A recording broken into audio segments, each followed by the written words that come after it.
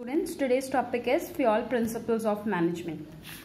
As I told you, Henry Fayol gave 14 principles of management and Henry Fayol was a French management theorist and he was graduated from the Mining Academy of St. Ethne in 1860. So let us start.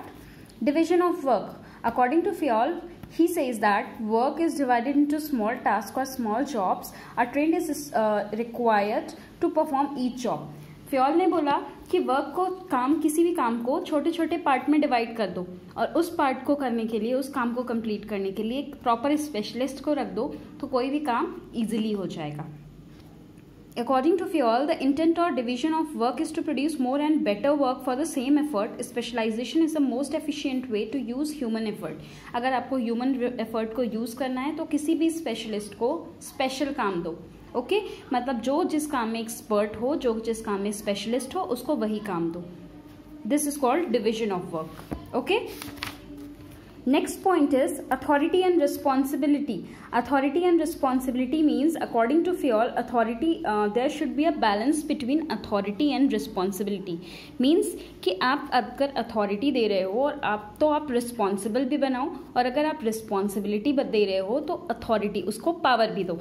So authority means right to take orders and obtain obedience and responsibility is an obligation to do the task. Okay, it is very important and useful principle of management because if adequate authority is not delegated they cannot discharge their duties with efficiency ये एक बहुत important principle है, क्योंकि अगर हम authority नहीं देंगे, अगर पावर्स नहीं देंगे तो हम रिस्पॉन्सिबिलिटी नहीं दे सकते। अगर हमने आपको किसी काम के लिए पावर नहीं दिया है तो हम आपको रिस्पॉन्सिबल नहीं बना सकते। Means sometimes the relation between the management and employees also badly affected by the non delegation of proper authority अगर प्रॉपर अथॉरिटी नहीं है तो क्या होता है? एम्प्लॉय और मैनेजमेंट का रिलेशन खराब हो सकता है। Next point is discipline discipline is uh, obedience to the organization. As we all know discipline is very important uh, part of organization. Without discipline a firm or a organization cannot survive so, according to Fayol, discipline requires all good superiors at all level, clear and fair agreement and judicious uh, application of penalties. Fayol ने कहा कि अगर एक organisation में proper discipline है तो वहाँ पे ऑर्गेनाइजेशन अपना काम अच्छे से करेगा। There should be a discipline in employees also ऐसा नहीं कि सिर्फ़ ऑर्गेनाइजेशन को ही अपने डिसिप्लिन मेंटेन करनी है एक एम्प्लॉय को और अपने काम के लिए भी डिसिप्लिन होना है। Okay next is unity of command unity of command says that one should get order from only one boss or one employee should get order from only one boss. Unity of command कहता है कि एक employee को अगर एक boss ही order देगा, तभी वो काम अच्छे से कर पाएगा। इफ़ अ पर्सन और a employee get order from more than one boss तो वो क्या करेगा? वो काम अच्छे से नहीं कर पाएगा। मतलब अगर उसे दो बॉस साथ में कमांड करेंगे तो वो कंफ्यूज हो जाएगा कि बॉस वन को फॉलो करें या बॉस टू को फॉलो करें। If an employee gets order from two superiors अगर एक एम्प्लॉय दो सुपीरियर्स से क्या करता है ऑर्डर लेता है at the same time the principle of unity is unity of command is violated जब एक एम्प्लॉय को दो बॉस ऑर्डर्स देने लगते हैं तो वहाँ पे principle of unity of command violate हो जाती है।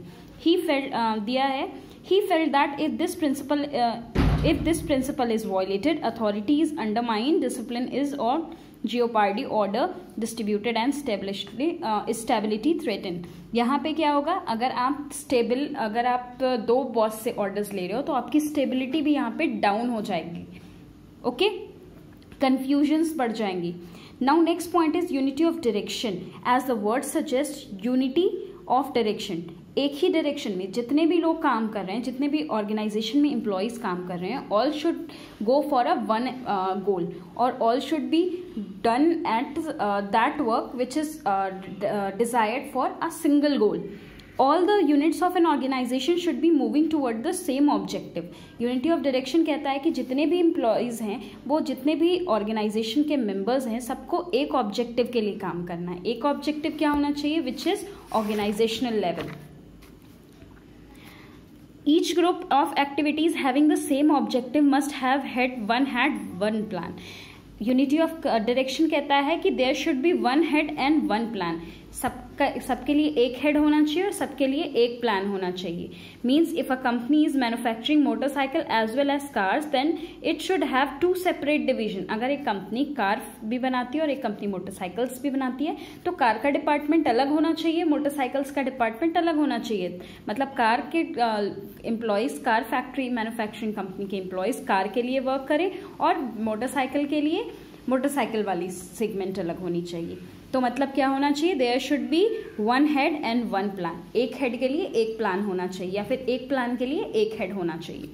Subordination of individual interest to general interest यहाँ पे ये कहता है कि the interest of an organisation should take priority over the interest of any individual employee according to Fayol every worker has some individual interest for working in the company. The company has got the, its own objective. Means कि आपको as an employee सबसे पहले जो है organisational objective को move on करना पड़ेगा। Organisational objective पे फोकस करना पड़ेगा instead of your own individual objective अगर आप एक एम्प्लॉई हो तो आपको सबसे पहले अपने ऑर्गेनाइजेशन के बारे में सोचना पड़ेगा, ना कि अपने पर्सनल टारगेट के लिए। For example, if the company wants to get maximum output from its employees at the competitive cost, on the other hand, the employee may want to get maximum salary while working at the least. Uh, in another situation, on individual employee may demand some concession which is not admissible to any of the employee like working for the less time. Suppose कि एक company चाहती है कि हम ज़्यादा output करें कम cost में, और एक एम्प्लॉय चाहता है कि हमें सैलरी ज़्यादा मिले, जबकि हम कम काम करें। तो यहाँ पे दोनों, सबसे पहले टारगेट क्या होना चाहिए? हमें अपना क्या करना है? द कंपनी की मैक्सिमम आउटपुट को चेक करना है। सबसे पहले कंपनी की मैक्सिमम आउटपुट को देखना है, ना कि अपनी सैलरी इंक्रीज करनी है। That is why it is called subordination of individual interest to general interest remuneration to the employees remuneration of employees का मतलब होता है कि द वर्कर्स और the employees the overall pay of the compensation should be both fair for both employees as well as organisation मतलब जो employees को salary दी जा रही है there should this should be fair मतलब ऐसा ना हो कि उनसे हम काम ज़्यादा करवा रहे हैं, उनको सैलरी कम दें और सैलरी ज़्यादा दे रहे हैं, काम कम करवा रहे हैं। There should be balance between the remuneration and work the overall pay must be fair मतलब जो कंपनी जो ऑर्गेनाइजेशन अपने एम्प्लॉय को पे कर रही है, वो दोनों के लिए फेयर होना चाहिए। मतलब कंपनी के लिए बहुत ज़्यादा कॉम्पनसेबल ना होना हो मतलब कंपनी भी उसको कॉम्पनसेट कर पाए और फेयर इस एम्प्लॉय के सेंस में भी वो फेयर होनी चाहिए। Wages should give them at least of reasonable standard of living मतलब एक आप अपने एम्प्लॉय को अगर सैलरी दे रहे हो दैट मीन्स कि उससे उनकी लिविंग uh, स्टैंडर्ड या फिर उनसे uh, उनकी स्टैंडर्ड ऑफ़ लिविंग जो होती है वो अच्छी होनी चाहिए। ऐसा ना हो कि आप उनको इतना कम पे कर रहे हो कि जिससे उनकी लिविंग स्टैंडर्ड बहुत डाउन हो रही है because they are the employees of your own okay so it is the duty of the organisation to cope up the employees okay next one is centralisation and decentralisation centralisation क्या होता है? When the decision to take when the right to take decision is in one hand जब decision लेने का right right सिर्फ़ centralised होता है, सिर्फ़ एक इंसान के पास होता है तो उसको हम सेंट्रलाइजेशन कहते हैं। एंड डिसेंट्रलाइजेशन किसको कहते हैं? डिसेंट्रलाइजेशन मीन्स कि आपका क्या है? आपने पावर अथॉरिटी अपनी एक से ज़्यादा हाथ में दे दी। मतलब जब अथॉरिटी होती है, जो पावर होता है, सिर्फ़ एक के पास होती है तो वो सेंट्रलाइजेशन होता है, और जब उसको डिस्पर्स कर दिया जाता है तो वो डिसेंट्रलाइजेशन होता है। So the concentration of decision making authority is called centralization whereas its dispersal among more than one person is known as decentralization. Fiol ne kaha there should be a balance between subordinate involvement through decentralisation with managers retention means उन्होंने ये कहा कि there should the centralisation and decentralisation must be followed by the organisation अगर एक organization है तो वो centralisation और डिसेंट्रलाइजेशन दोनों को फॉलो कर सकती है। Because if there is a small unit और there is a small organisation then it can follow centralisation technique next if uh, there is an decent uh, the organization is very big or very huge or very large or very vast then company may use decentralization कि company अगर बड़ी है तो company को decentralization use करना चाहिए और company अगर छोटी है तो उसको सेंट्रलाइजेशन यूज़ करना चाहिए मतलब अगर बड़ी कंपनी है तो एक इंसान अकेले तो नहीं चलाएगा तो वहाँ पे डिसेंट्रलाइजेशन की ज़रूरत होगी मतलब पावर एक से ज़्यादा लोगों के हाथ में जाएगी। और अगर कंपनी छोटी है तो उसको एक अकेला इंसान भी चला सकता है, जिसकी वजह से सेंट्रलाइजेशन में ही काम हो जाएगा। सो अगर फ्योल ने कहा कि it's up to you it's up to your size of the organisation कि आप किस तरीके से अपनी कंपनी में सेंट्रलाइजेशन और डिसेंट्रलाइजेशन को फॉलो करते हो। Scalar chain this is the most important topic as the word suggest scalar chain तो यहाँ पे क्या होती है? चेन फॉर्म कर हो रही है। तो just as the name suggest according to Fayol organisation should have a chain of authority and communication that runs from top to bottom जिस तरीके से हमारे स्कूल में होता है, हमारे स्कूल में क्या होता है? कि एम डी सर ने प्रिंसिपल सर को कुछ इंस्ट्रक्शन दिए तो प्रिंसिपल सर ने सारे टीचर्स को वो इंस्ट्रक्शन पास ऑन किए। हम टीचर्स ने आप स्टूडेंट्स को वो सारे आ, सारी चीज़ें बताई। तो ये क्या है? There chain should be followed by each of us this is called scalar chain Fayol ने कहा कि अगर आप एक ऑर्गेनाइजेशन रन कर रहे हो then there should be a chain followed by you all कि the path of information should be in chain form आपके पास क्या होनी चाहिए? एक जो पाथ है, वो क्या होनी चाहिए? वो एक फॉर्म में, एक स्केल में होनी चाहिए। तो इससे क्या होता है? इससे ऑर्गेनाइजेशन में डिसिप्लिन भी मेंटेन होती है और सारी चीज़ें मैनेजमेंट के थ्रू होती हैं। Given is organisation should have a chain of authority and communication that runs from top to bottom should be followed by the managers and subordinate और scalar chain should be followed by both top level middle level and low level okay यहाँ पे आपको एक chart में दिखाती हूँ। This is called gang plank means ये दो सेक्शंस हैं। A is a head A ने बी को ऑर्डर्स दिए बी ए ने एल को भी ऑर्डर्स दिए। फिर इस बी ने सी को यहाँ ऑर्डर दिया एल ने एम को ऑर्डर किया। सी ने डी को एम ने एन को। डी ने ई e को। मीन्स अब क्या हो रही है? A chain should be followed यहाँ से एक चेन फॉलो हो रही है। मीन्स हर सुपीरियर अपने सबॉर्डिनेट को क्या कर रहा है? वो सारे इंफॉर्मेशन प्रोवाइड कर रहा है। बट यहाँ पे क्या है? सपोज़ uh, मैंने कहा ई e को कोई इन्फॉर्मेशन ए तक पहुँचानी है ओके? ई e को कोई इन्फॉर्मेशन पहुंचानी है तो ई e ने यहाँ पे इस अपने जो सेम लेवल पे अपने जो इन्फॉर्मेशन ड्राफ्ट की इसी को हम गैंग प्लान कहते हैं। गैंग प्लान क्या है? According to Fayol this change should not be violated Fayol ने कहा कि ये चेन जो है वॉयलेट नहीं होनी चाहिए खत्म नहीं होनी चाहिए। In the normal course of formal communication if there is any emergency अगर कोई इस सेक्शन में किसी को इमरजेंसी है तो उसने क्या किया? उसने अपने डायरेक्टली अपने सेम लेवल पे दूसरे दूसरे डिपार्टमेंट से जो डील किया तो इसी को हम कहते हैं gang plan gang plan is a shorter route that has been provided so that communication is not delete gang plan वो शॉर्टेस्ट रूट है, जिससे हम क्या कर सकते हैं? कम्युनिकेशन को ब्रेक नहीं कर सकते. Okay next point is order order means sequence as you know So according to Fayol, people and material must be in suitable place and an appropriate time for maximum efficiency. Order का क्या है order according to is this principle Fayol ने कहा कि there should be a proper place for every one and every thing and every thing should be on its proper place right कि सारी चीज़ों के लिए एक प्रॉपर जगह होनी चाहिए और वो चीज़ें उस जगह पे होनी चाहिए। जैसे अगर आपको किसी टीचर से आ, आ, क्या करना है? किसी टीचर से मिलना है या किसी टीचर से कुछ पूछना है तो आपको ये पता होगा कि इस टाइम या तो वो अपनी क्लास में होंगे या फिर क्या होंगे? स्टाफ रूम में होंगे। तो ये क्या है? यही चीज़ फ्योल ने भी बोली कि सारी चीज़ों के लिए लोगों के लिए और मटेरियल के लिए एक प्रॉपर जगह बनाई जानी चाहिए और वो चीज़ें वहाँ पर प्रेजेंट होनी चाहिए। इससे क्या होगा? इससे कोई भी सेक्शन कोई भी चीज़ें वॉयलेट नहीं होंगी। इससे काम एफिशिएंटली होगा कम टाइम में होगा और अच्छे से होगा। इक्विटी इक्विटी मीन्स इक्वल करना. Okay so there will be no discrimination to any one on account of sex religion language caste belief और नेशनैलिटी अगर आप एक ऑर्गेनाइजेशन में वर्क कर रहे हो then there should be equality in all the organisational employees मतलब किसी को कास्ट के बेसिस पे या किसी को रिलीजन के बेसिस पे डिस्क्रिमिनेट uh, नहीं करना है there should be equity for all the employees सारे एम्प्लॉयज़ को एक्चुअल इक्वलिटी ट्रीट करना है okay this says principles of equity. Stability of personal stability मतलब स्टेबल रखना पर्सनल मतलब ह्यूमन बींग्स को. तो employees turnover should be minimise Fayol ने कहा कि एम्प्लॉयज़ के टर्नओवर को मिनिमाइज करना है, क्योंकि जब भी हम एक एम्प्लॉय को क्या करते हैं अपने कंपनी में या अपने ऑर्गेनाइजेशन में हायर करते हैं तो वहाँ पे क्या होता है एम्प्लॉयज़ के जो है उनको ट्रेनिंग देनी होती है, उनका डेवलपमेंट करना होता है तो with the help of training and development programmes it occurs a huge cost वहाँ पे बहुत ज़्यादा कॉस्ट लगती है।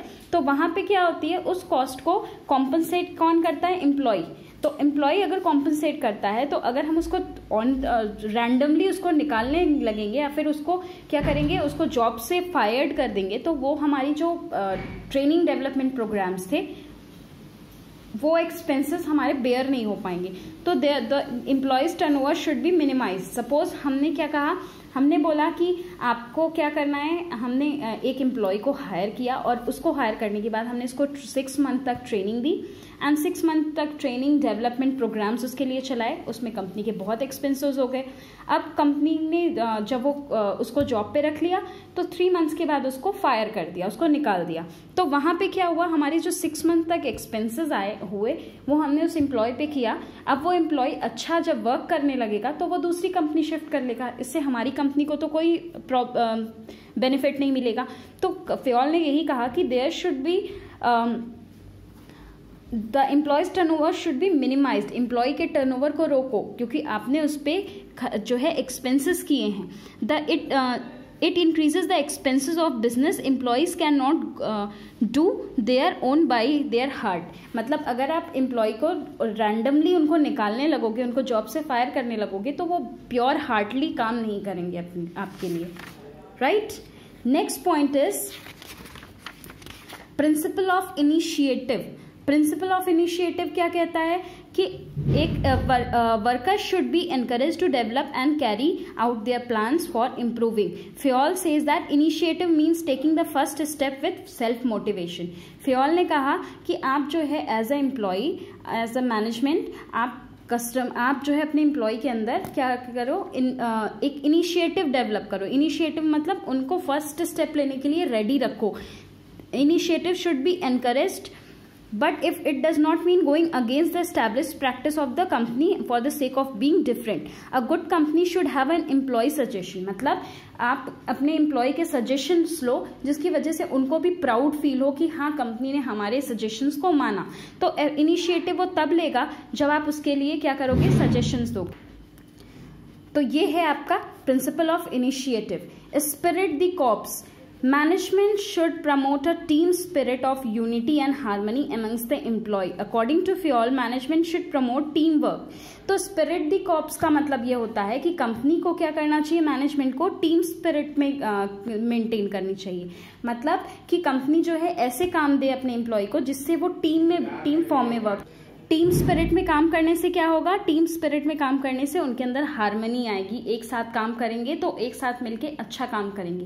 Because individual work can not done in efficient manner but the team work should promote should promoted and it creates a good thinking amongst the employees ये employees में good thinking promote करेगा। Okay so spirit the corps means provide a uh, create a harmony amongst the employees. Management should promote team work especially in large organization. अगर आप team work के through काम कराते हो तो आपका काम अच्छे से होगा। So we have a list of seven fourteen principle number one division of work काम को अलग अलग बांट दो। छोटे छोटे पार्ट्स में अथॉरिटी एंड रिस्पॉन्सिबिलिटी क्या कहता है? There should be balance between authority and responsibility discipline means कि आपको अपनी ऑर्गेनाइजेशन में डिसिप्लिन मेंटेन रखनी है, हर लेवल पे यूनिटी ऑफ़ कमांड सिर्फ़ एक बॉस से एक ही इंसान, एक एम्प्लॉय एक बॉस से ऑर्डर ले।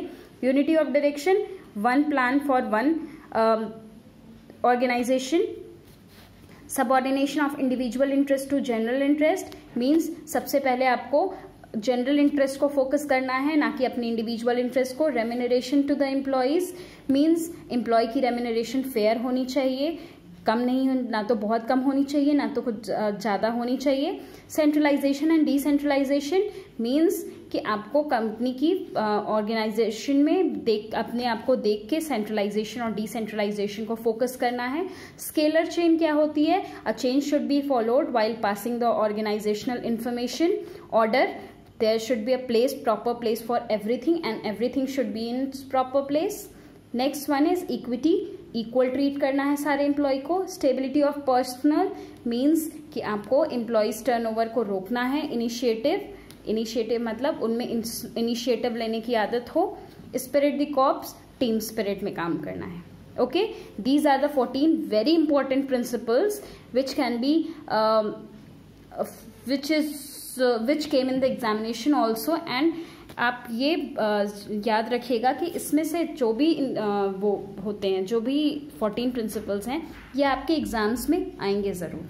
इनमें से दो या तीन तो ज़रूर आएँगे। So it is very important topic so अगर आपको कोई भी इंफॉर्मेशन चाहिए और भी कुछ भी नहीं समझ में आता so you can ask me okay thank you class